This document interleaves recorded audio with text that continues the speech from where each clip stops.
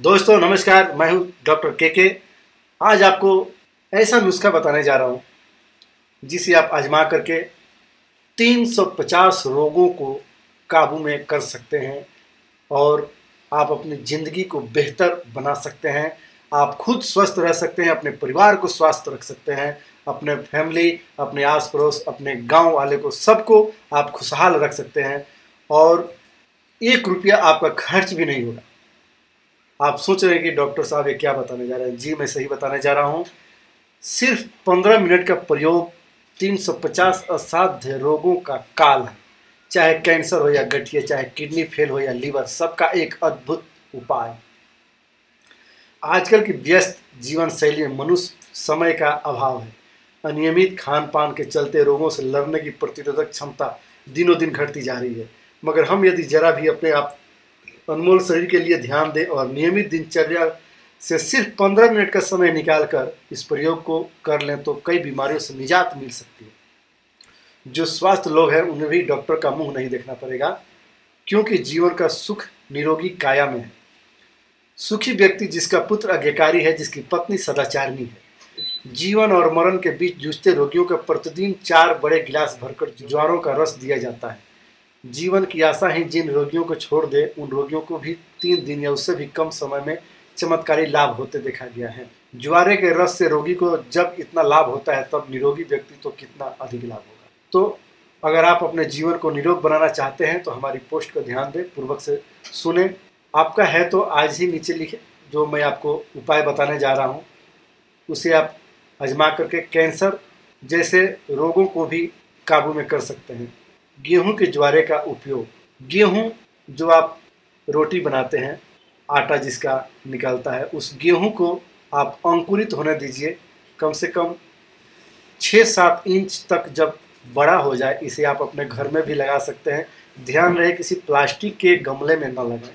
आप थोड़ा थोड़ा गेहूँ को लगाते जाएँ और जब ये पाँच इंच छः इंच तक हो जाए, उसको काट करके, जूस बना करके आप इसका उपयोग करें। छोटे छोटे मिट्टी के पात्रों में मिट्टी डालकर बोया जाता है। ये गेहूँ के ज्वारे का रस प्रकृति के गर्भ में छिपे औषधियों का अक्षय भंडार में से मानव को प्राप्त एक अनुपम भेंट है। शरीर के आरोग्यार्थ यह रस इतना उपयोगी सिद्ध हुआ है कि विदेशी वैज्ञानिकों ने इसे हरा लहू, ग्रीन ब्लड कहकर सम्मानित किया है। डॉक्टर एन बिगमोर नामक एक विदेशी महिला ने गेहूँ के कोमल ज्वरों के रस से अनेक असाध्य रोगों को मिटाने के सफल प्रयोग किए। उपरोक्त ज्वारों के रस द्वारा उपचार से 350 से अधिक रोग मिटाने के आश्चर्यजनक परिणाम देखने में आए हैं। जीवन वनस्पति शास्त्र में यह प्रयोग बहुत मूल्यवान है। गेहूँ ज्वरों के रस में होने वाले उन्मूलन की एक विचित्र शक्ति विद्यमान है। शरीर के लिए एक शक्तिशाली टॉनिक है। जिसमें प्राकृतिक रूप से कार्बोहाइड्रेट आदि सभी विटामिन क्षार एवं श्रेष्ठ प्रोटीन उपस्थित है। इसके सेवन से असंख्य लोगों को विभिन्न प्रकार के रोगों से मुक्ति मिली है। कैंसर, मूत्राशय की पथरी, हृदय रोग, लीवर, डायबिटीज़ पायरिया एवं दांत के अन्य रोग, पीलिया, लकवा, दमा, पेट, दुखना, पाचन क्रिया की दुर्बलता, अपच, गैस विटामिन ए बी आदि के अभावपन्न रोग, जड़ों के सूजन, गठिया संधि योथ किडनी एलर्जी संबंधित 12 वर्ष पुराने रोग, आँखों का दुर्बल, केशों का श्वेत होकर झड़ जाना, चोट लगे घाव तथा जली त्वचा संबंधी सभी रोग। हज़ारों रोगियों, निरोगियों ने भी अपनी दैनिक खुराकों में से किसी प्रकार के हेराफेर किए गेहूँ के ज्वरों से रस से बहुत थोड़े समय में चमत्कारिक लाभ प्राप्त किए हैं। ये अपना अनुभव बताते हैं कि ज्वरों के रस से आँख, दांत और केस को बहुत लाभ पहुँचता है। कब्जी मिट जाती है, अत्यधिक कार्य शक्ति आती है और थकान नहीं होता। गेहूँ के ज्वर उगाने की विधि। मैं आपको जो बता रहा हूँ, इसे आप ध्यान दीजिए। आप मिट्टी के नए खप्पर कुंडे या सकोरे लें। उनमें खाद मिली मिट्टी लें। रासायनिक खाद का उपयोग बिल्कुल न करें। पहले दिन एक कुंडे की सारी मिट्टी ढक जाए, उनमें गेहूँ बोए। पानी डालकर कुंडों को छाया में रखें। सूर्य की धूप कुंडों को अधिक या सीधी न लगा पाए, इसका ध्यान रखें। इस प्रकार दूसरे दिन दूसरा कुंडे या मिट्टी का खप्पर बोए। और प्रतिदिन एक बढ़ाते हुए नौवें दिन नौवा कुंडा बोए सभी कुंडों को प्रतिदिन पानी दें। नौवें दिन पहले कुंडे में उगे गेहूँ काटकर उपयोग में लें। खाली हो चुके कुंडे में फिर से गेहूँ उगा दें। इसी प्रकार दूसरे दिन दूसरा दिन तीसरे दिन करके चक्र लगाते जाएँ। इस प्रकार प्रक्रिया से भूलकर भी प्लास्टिक के बर्तन का प्रयोग कदापि न करें। प्रत्येक कुटुंब अपने लिए सदैव के उपयोगार्थ 10, 20, 30 अथवा इससे भी अधिक कुंडे रख सकते हैं। प्रतिदिन व्यक्ति के उपयोग अनुसार एक या दो अधिक कुंडे में गेहूँ बोते रहें। मध्यान्ह के सूर्य की सख्त धूप न लगे, परंतु प्रातः अथवा सायकाल का मंद ताप लगे ऐसे स्थान में कुंडों को रखें। सामान्यतः आठ दस दिन गेहूँ के ज्वारों में पाँच से सात इंच तक ऊँचे हो जाए, ऐसे ज्वारों को अधिक से अधिक गुण होते हैं। जो जो ज्वारे सात इंच से अधिक बड़े होते जाए त्यों तो उनके गुण कम होते जाएँगे। अतः उनका पूरा पूरा लाभ लेने के लिए सात इंच तक बड़े होते हैं, उनका उपयोग कर लेना चाहिए। जड़ों की मिट्टी के धरातल से कैंची द्वारा काट लें अथवा उसे समूल खींचकर उपयोग में ले सकते हैं। खाली हो चुके कुंडे में फिर से गेहूँ बो दीजिए। बस इस प्रकार गेहूँ बोना चालू रखें। ज्वारों का रस बनाने की विधि। जब समय अनुकूल हो तभी तो ज्वारे काटे। काटते ही तुरंत धो डालें। धोते ही उन्हें कूटे। कूटते ही उन्हें कपड़े में छान लें। इस प्रकार उसी प्रकार को तीन बार कूट कर रस निकालने के आधिकारिक रस प्राप्त होगा। चटनी बनाने अथवा रस निकालने की मशीन आदि से भी रस निकाला जा सकता है। रस को निकालने के बाद विलंब किए बिना तुरंत ही उसे धीरे धीरे पिए। किसी शक के अनिवार्य कारण से अतिरिक्त एक क्षण भी उसको पड़ा न रहने दें, कारण कि उसका गुण प्रतिक्षण घटने लगता है और तीन घंटे में तो उसमें से पोषक तत्व ही नष्ट हो जाता है। प्रातःकाल खाली पेट या रस पीने से अधिक लाभ होता है।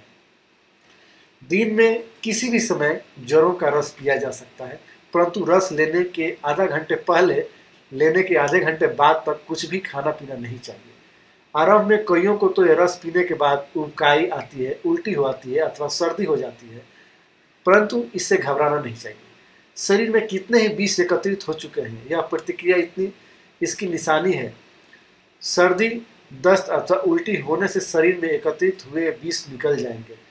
जड़ों का रस निकालते समय मधु, अदरक, नगर बेल के पान, खाने के पान भी डाले जा सकते हैं। इससे स्वाद और गुण का वर्धन होगा और उपकाई नहीं आएगी। विशेषता यह बात ध्यान में रख लें, जड़ों के रस में नमक अथवा नींबू का रस कदापि न डालें। रस निकालने की सुविधा न हो तो ज्वारे चबाकर भी खाए जा सकते हैं। इससे दांत मसूरे मज़बूत होंगे। मुख से यदि दुर्गंध आती हो तो दिन में तीन बार थोड़े थोड़े ज्वारे चबाने से दूर हो जाती है। दिन में दो या तीन बार ज्वारों को रस लीजिए। सस्ता और सर्वोच्च ज्वारों का रस। ज्वारों का रस दूध, दही और मांस के अनेक गुना अधिक गुणकारी है। दूध और मांस में भी जो नहीं है, उसमें अधिक ज्वर के रस में है। इसके बावजूद दूध, दही और मांस से बहुत सस्ता है। घर में उगाने पर सदैव सुलभ है। गरीबी के गरीब व्यक्ति इस उपयोग करके अपना खोया स्वास्थ्य फिर से प्राप्त कर सकता है। गरीबों के लिए यह ईश्वरीय आशीर्वाद है। नवजात शिशु से लेकर घर के छोटे बड़े अलावा वृद्ध सभी ज्वारे के रस का सेवन कर सकते हैं। नवजात शिशु प्रतिदिन पाँच बूंद दी जा सकती है। ज्वारे के रस में लगभग समस्त क्षार और विटामिन उपलब्ध है। इसी कारण से शरीर में जो कुछ भी अभाव है, उसकी पूर्ति ज्वर से रस द्वारा आश्चर्यजनक रूप से की जाती है। इसके द्वारा प्रत्येक ऋतु में नियमित रूप से ब्राह्म पायु, खनिज, विटामिन क्षार शरीर विज्ञान में बताए गए कोषों को जीवित रखने के लिए आवश्यक सभी तत्व प्राप्त किए जा सकते हैं। डॉक्टर की सहायता के बिना गेहूँ के ज़ोर का प्रयोग आरंभ करो और खोखले हो चुके शरीर को मात्र तीन सप्ताह में ही ताज़ा स्फूर्तिशील एवं तरावटदार बना दो। जड़ों के रस के सेवन के प्रयोग किए गए हैं। कैंसर जैसे असाध्य रोग मिटे हैं।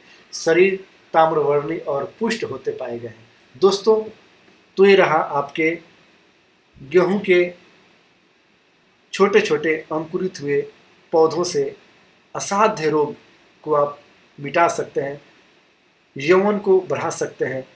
शरीर में 350 रोगों के लिए सिर्फ़ एक गेहूँ की कच्ची बाली को आप चाहे जिस तरह से हो, आप यूज़ करिए और देखिए आपका काया पलट हो जाता है। आपके शरीर में कोई बीमारी ही नहीं रहेगी, शरीर में विष जो भी बना हुआ होगा निकल जाएगा। तो दोस्तों, बहुत अच्छा लगा आपने मुझे सुना। आप मुझे पसंद करते हैं। तो बस इजाज़त दीजिए डॉक्टर के के। अगर आप मेरे नए श्रोता हैं जो मुझे सुन रहे हैं तो सबसे पहले आप मुझे सब्सक्राइब कीजिए और अपनी बीमारी, अपना इलाज खुद कीजिए। किसी डॉक्टर के पास जाने की ज़रूरत नहीं है। आप मुझे यूँ सुनते रहें और अपने आप को स्वस्थ रखें, दीर्घायु रहें। यही मेरी कामना है। नमस्कार, इजाज़त दीजिए। दोस्तों थैंक यू